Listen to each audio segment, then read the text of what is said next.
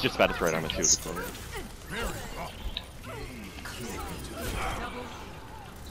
Okay, nice. Where's the Bastion? Is the Bastion really just focusing on Winston? Yeah. Alright then. How did he not kill me?